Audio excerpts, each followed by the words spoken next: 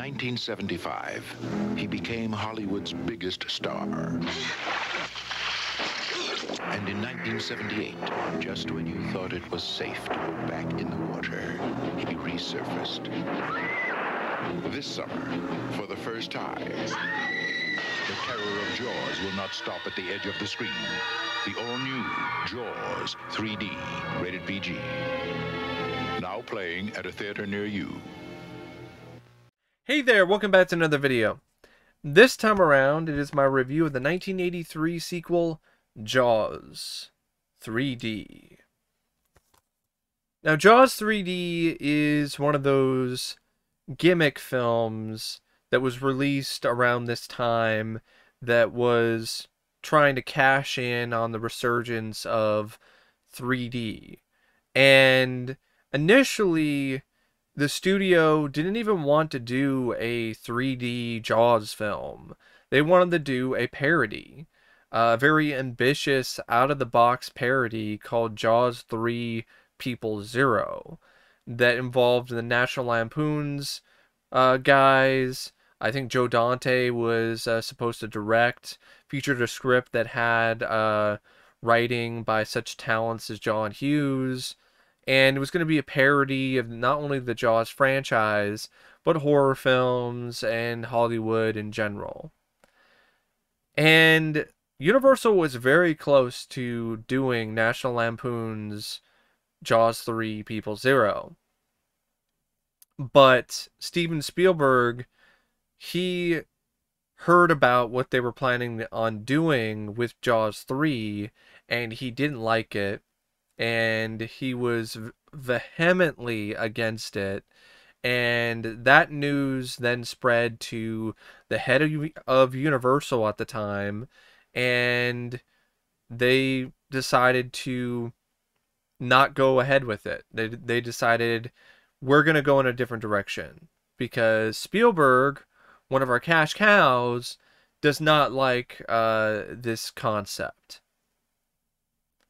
And in retrospect, I can see where Spielberg is coming from because you are turning this franchise into a joke on purpose.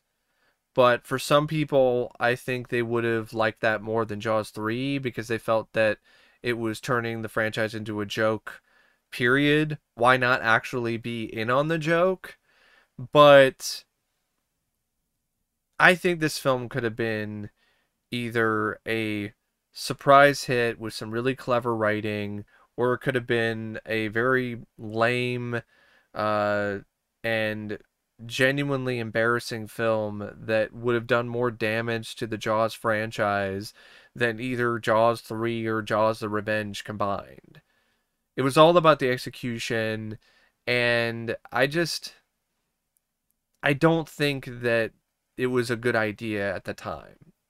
Uh, I'm one of those people that actually thinks the idea that they ultimately chose to go with, with having a killer shark in a amusement park, I felt that that was a better concept.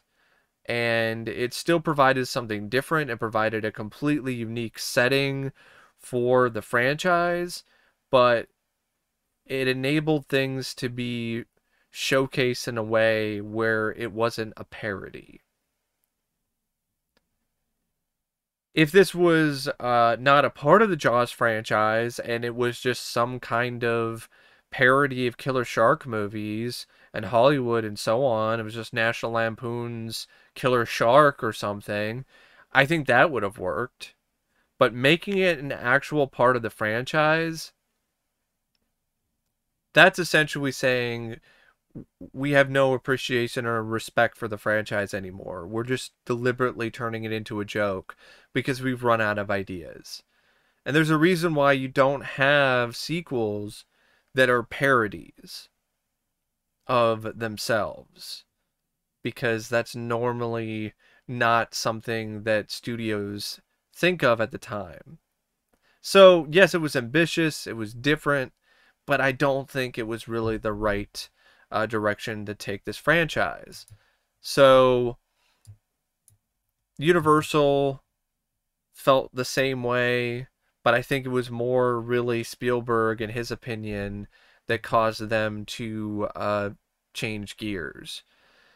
So they decided to go with a screenplay based on a story by uh, Guerdon Trueblood, and the script was written by Richard Matheson and Carl Gottlieb, uh, and they settled on the shark and SeaWorld idea, and then they decided to tag the 3D gimmick onto it to entice more people to come see the film in the theater. And they got Joe Alves, who was their original choice to direct Jaws 2, to direct. Now, Joe Alves' direction in this, it's not the worst, but it's not that great either. I would say the direction is definitely one of the film's flaws. Uh, this is a movie that should have had more spectacle, should have had more awe. And there are a lot of moments where it has the vibe and feel of a TV movie. And that's due to Joe Alves' inexperience as a director.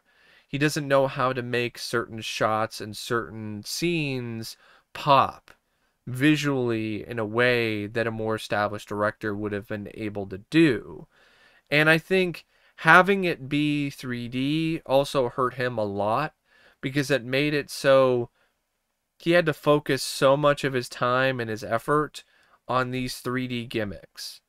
And if he didn't have to deal with all of that, maybe his direction would have been uh, improved because he could have had more of a focus on what kind of shots he was going to go with and so on. He would have had more flexibility as well because you're not as flexible as a director if you're doing a 3D movie because you have to have a certain amount of shots that are just there for the 3D effect and I definitely feel the 3D elements speaking of 3D those are honestly some of the weakest points uh, of Jaws 3D.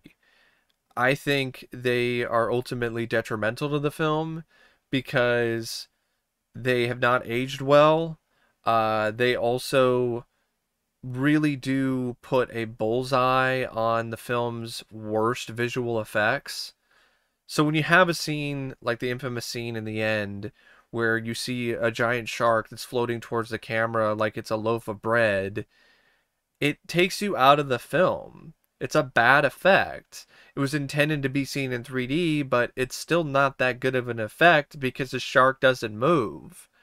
And there were a lot of shots like that. Even if you saw it in 3D, I don't think the effect would be that great because of all these other things that are just disappointing or don't work too well. Uh, for for instance, some of the submersible shots, some of the uh, blue screen effects. There's a lot of stuff in this that really uh, does not immerse you in the the uh, landscape. It doesn't. Um, it, it does, It's not a fully immersive experience as a as a viewer, because you're seeing the the strings, or or you're seeing the fact that this is intended for 3D and so on. And I think some of that would definitely be uh, corrected if you saw it in 3D. But a lot of that is just amplified when you watch it in 2D because of the fact that all of this, all of these visual effects that were intended for 3D screens do not translate well on 2D uh, televisions or in the 2D f- format. But yeah, Joe Alves' direction, it's not horrible, it's not incompetent, it's not piss poor by any means there are some moments where it it it actually is a little impressive, like the shots of the giant shark when it's swimming underwater, uh, the confrontation between the the shark and uh, and uh, Mike Brody. I thought that was a pretty uh, tense sequence. The moment with uh, Manimal himself, Simon MacCorkindale's character, when he gets essentially crushed inside the jaw of the giant shark that was a really well shot, very eerie, very uh, creepy sequence. And so there's a there are some moments here with the direction where it's dynamic enough, it's it's solid enough, but there's a lot of shots though, and there's a lot of moments in this where it just feels very run of the mill. And that's because of the fact that Joe Alves never directed anything before this. And he didn't direct anything again after this, if I remember correctly. This was the, the only film that he ever directed. Now, the screenplay, it's got a few really strong points and strong positives. One of them is the setting. I love the fact that this takes place at SeaWorld. It's unique, it's fun, and the undersea kingdom and the underwater tunnels that adds a lot of extra uh, suspense and intrigue. And I don't mind the idea of having the baby shark and having it be caught and then having the whole politics with Gossett Jr.'s character putting the shark out too early for display and then it dying and then the mama shark coming for revenge. I don't mind that. I know it's not realistic, but this movie isn't realistic period. I mean, the the the underwater kingdom with the underwater tunnels that would never fucking happen because uh, it's a lawsuit waiting to happen if anything goes wrong and it was way too way too ambitious uh, uh, and for the time in terms of the technology like that was something that was straight out of fantasyland and you have that going on and then you got a giant shark sure why not? At this point in the franchise i think it's a good idea to go big. Not small because jaws jaws the first film was the best that you will ever see when it comes to going small with this kind of film. Jaws 2 started to, to veer into that direction of over the top spectacle. I mean, the shark eats a helicopter in that movie. So I think this film just going full speed speed ahead into uh, ridiculousness and over the top craziness, I actually think that's fine, and I wish it, was even more over the top, to be honest. I wish it had more of a body count. That is something that the film definitely does suffer from. It has not nearly as sharp of a bite as the first two, even though there are some effective moments here and there. Uh, a lot of it seems a little tame. A lot of it seems definitely uh, dull uh, and, and a little bit deadened in, in comparison. Uh, and that makes the horror elements of the film a little weak. Uh, despite a few instances like the the guy getting eaten the way that he does inside the shark, and then his body is just left there inside the shark's maw, and then it ultimately uh, leads to the climax where the shark gets blown up again. So where we're already getting to the point where we we are uh, recycling things Oh, the shark gets blown up, but this time it's not an air tank, it's a grenade. Um, another strong point about this script is the characters. I honestly really like this cast, and I really like these characters. Uh, this is the best interpretation of Mike Brody to me. In Jaws 2, we, he was an unlikable prick. I hated that character. In Jaws 3, He's uh, a really charismatic, fun, likable guy, and he's not your typical protagonist. And I know people have written a lot of things saying he's one of the worst because of that. I don't think that's the case at all. I think he's still a strong protagonist because of the fact that he's so uh, charismatic, he's so enjoyable to watch, and he's having fun. And then when he needs to be more serious, when he needs to put his life on the line, he's also uh, capable in doing that. And I love, I really love the dynamic between uh, Mike and uh, his girlfriend, uh, Catherine. And I felt like the other characters that were brought into the fray, like Calvin Bouchard, uh, who was the owner of the park. I thought there was enough differences with the way he was handling things that, where it didn't seem like they're just trying to copy the Murray Hamilton character from the first two movies. Uh, I liked how the screenplay wrote Sean Brody. Uh, I felt that the relationship that he had with his older brother Mike was really sweet, and and I really enjoyed their antics. And you had other characters like Lea Thompson's character Kelly. I, I, I really had a lot of fun with that character, and and she had a lot of nice moments with Sean, and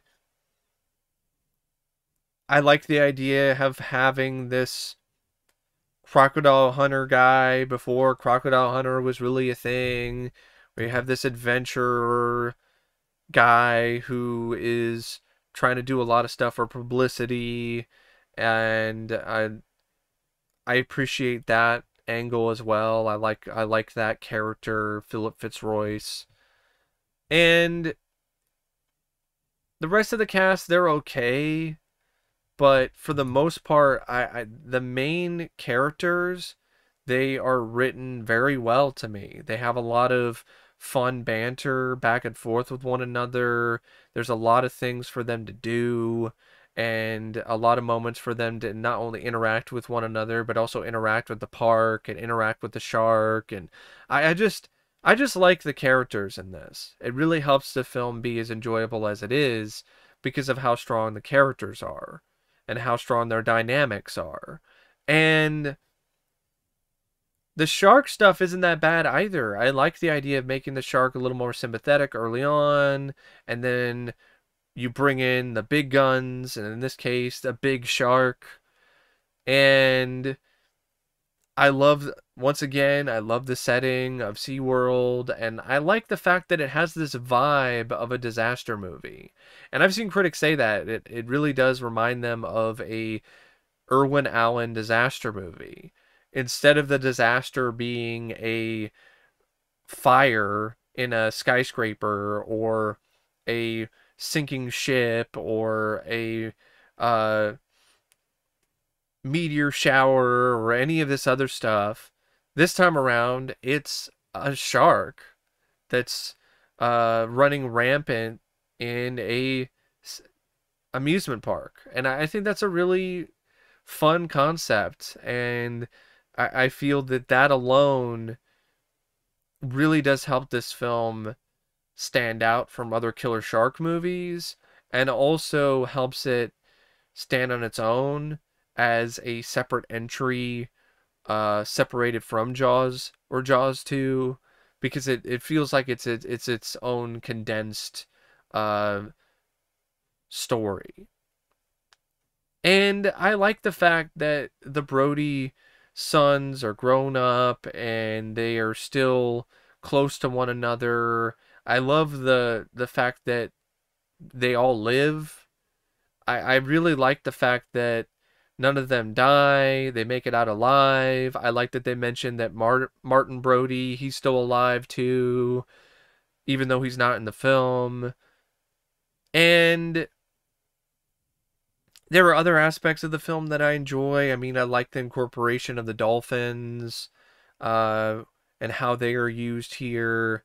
And it's just one of those things where the screenplay, yes, it's got some issues with some of the subplots some of the scenes like there's a moment with these guys who were trying to steal something from the park in a raft and i never really thought that scene was that great and it seemed like it was only there to add to the body count and i could see why some people have some issues with the ending especially when it comes to the visual effects but that's not really a writing problem uh overall, I think it's a pretty good script.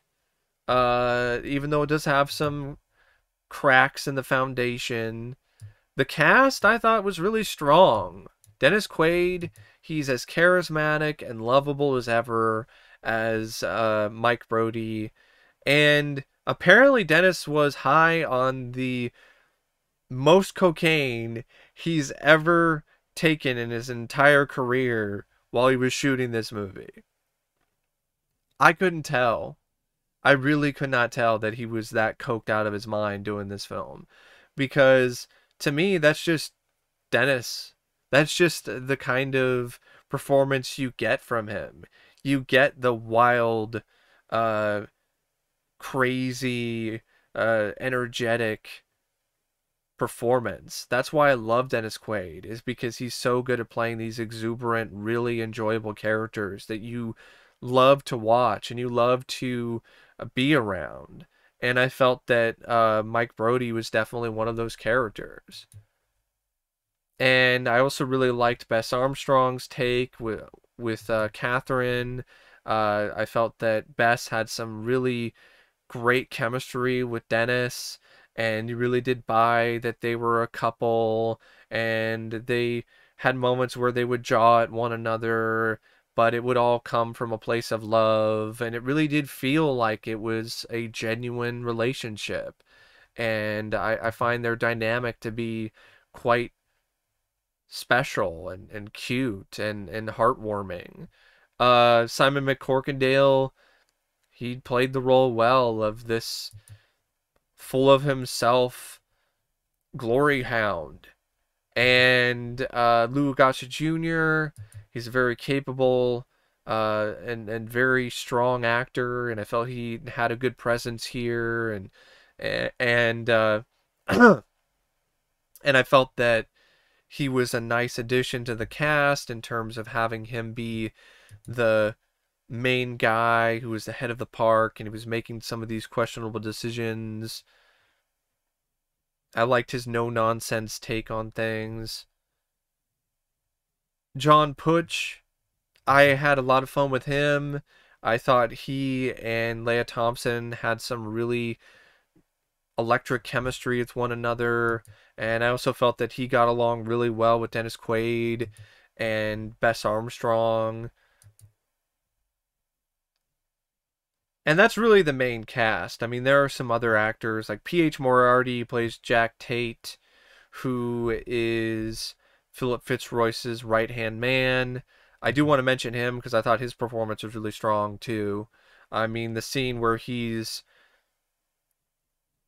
figuring out that Philip is not there, he's not going to make it, he's stuck in the tunnel, and he's not coming out. I, I thought that was some really good acting on his part, showing grief and and uh, a lot of desperation because it it was his friend, and his friend was trapped down there, and his friend was probably dead, and I felt that th- that was a really believable performance I felt that those two had some nice chemistry as well. Uh, that's the main cast. I mean, there are some other actors like uh, Harry Grant as Shelby Overman. He was fine. Uh, but the main cast is Dennis Quaid, Bess Armstrong, Simon MacCorkindale, Louis Gossett Jr., John Putch, Lea Thompson, and P.H. Moriarty. The cinematography by James A. Contner. It's it's fine. It's decent enough. I wouldn't say this is like the best looking movie cinematography wise. Uh, the editing by Randy Roberts and Corky Ehlers. There are some scenes here where it's a little choppy, but for the most part, I don't think it's that rough. I think it's a decent, solid effort when it comes to the editing. The score, though, by Alan Parker is amazing. Like this is one of the most underrated scores out there, if you ask me. It is such a rollicking and really fun score to listen to, and it fits the tone of the film so well. Because at the end of the day, this movie has the vibe of a ride at SeaWorld. And I think that's fitting.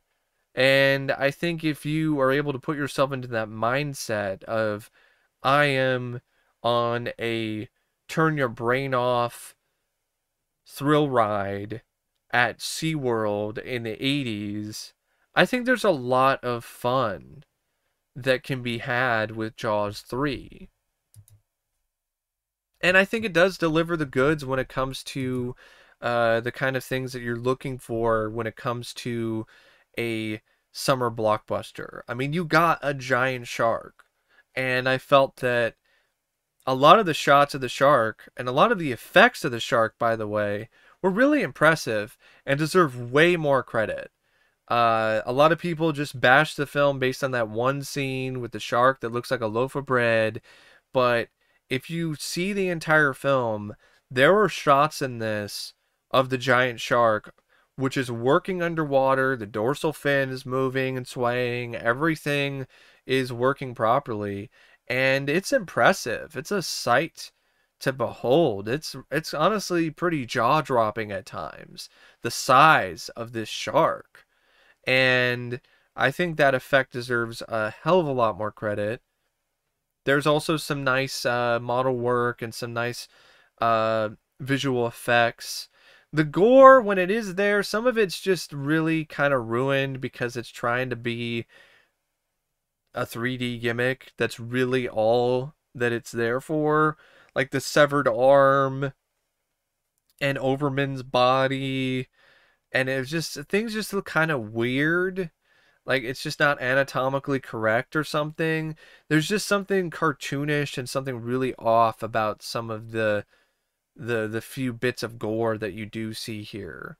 Um and there are some moments when it gets to the finale with the big shark that's loose in the park where it does feel like you could have gone bigger where you could have had more attacks you could have had more scenes where the shark is doing some crazier stuff, but there's still some nice set pieces. And it still features a really explosive finale and ending. And I thought the shot of the shark's entrails and the shark's jaw flying towards the screen, I always thought that was a pretty cool effect. Uh, and it's one of those movies that it's enjoyable. It goes by at a pretty good pace. I didn't think it was that boring, although it does have some pacing issues in the middle.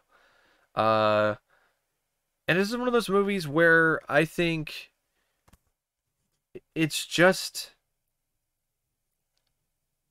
and and Jaws 3D is one of those films where as a horror film, it's not that scary but as an adventure movie, as a thrill ride, it's definitely one of those films that will get your adrenaline pumping enough and it's one of those movies where after it's over it makes you feel good despite the deaths and despite this other stuff. It really does nail the vibe of an 80s theme park experience. And I, I, think if you look at it from that perspective, I think you will come away with it uh, feeling rather uh, pleased uh, instead of trying to compare it to the Jaws or even something like Jaws 2. This is more of a 80s amusement park uh, ride for the family. That's really, honestly, uh, the, the kind of vibe that this film has. It's just one of those movies where never understood the hate. I still don't understand it. A 3.8 out of 10 on IMDb. Really?